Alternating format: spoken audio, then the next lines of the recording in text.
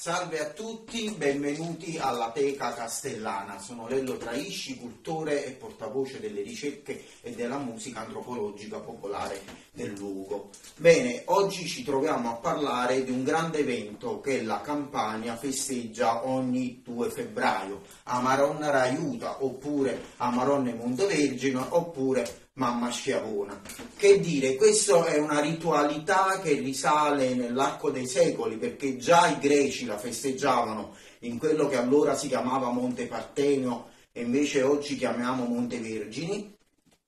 Del resto dal greco Partenio significa Parteniu, significava vergine. Uh, si festeggiava la dea Cibele, che guarda caso questa dea in ogni sua rappresentazione viene raffigurata con una camorra in mano ed ecco perché noi cultori e, e cantori delle tradizioni delle tammuriate ci teniamo a festeggiare questa grande festa. Uh, cosa dire? Vi lascio alla parola della, del padrone di casa di Accademia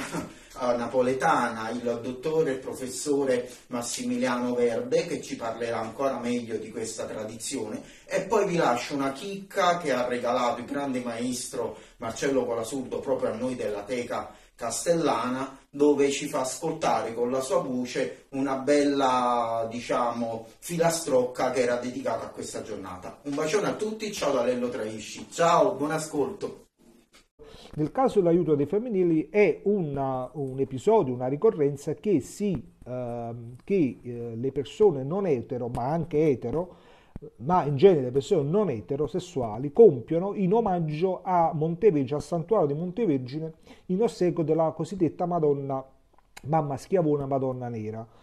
e perché uh, desiderano ringraziare l'avvenuta liberazione, perché così dice il mito, così dice la storia, di due, uh, due uomini uh, colti in fragranza nel, diciamo così, nel, nella Marsi, ecco, secoli e secoli or sono, quindi condannati questi prove disgraziati, secoli e secoli or sono, così dice appunto il mito, uh, e quindi attaccati ad un albero e quindi lasciati così uh, alle intemperie al morire, appunto ebbero, ricevettero la grazia dalla Madonna appunto per che li liberò. E quindi ogni anno si compie questo pellegrinaggio in omaggio a questo, a questo miracolo da parte di, eh, diciamo, delle persone che hanno un orientamento sessuale diverso dall'etero, accompagnati però anche da quelli etero perché eh, non c'è nella cultura napoletana, non c'è nella, e quindi nell'idioma che rappresenta questa cultura, eh, nessun tipo di razzismo, nessun tipo di discriminazione verso la diversità eh, ed orientamento sessuale. E co- cosa fanno? Come lo, lo diciamo, a chi si rivolgono? Si rivolgono, ecco, ancora, ad una Madonna nera. Quindi una Madonna di colore nero e che viene venerata in quanto tale. Qui abbiamo eh, sim, sim e sim venuta, si dice appunto in idioma napoletano verso Montevergine, e nella loro litania, ricordo in questa, questa, questo caso il grande Marcello Colasurdo che insomma ci dà un saggio ogni anno delle sue eh, doti artistiche in questo senso, e viene venerata una Madonna di colore scuro e si potrebbe dire eh, sicuramente di, no, di fattezza e di colore non caucasico. Quindi in realtà noi abbiamo eh, attraverso un culto religioso popolare antichissimo che si esprime in idioma napoletano due eh, ossequi, due rispetti, se si possiamo, possiamo chiamarli così, uno verso la diversità orientamento sessuale e l'altro verso la diversità etnica, addirittura assurta a, assorta diciamo a, a a Vergine, Vergine Madre.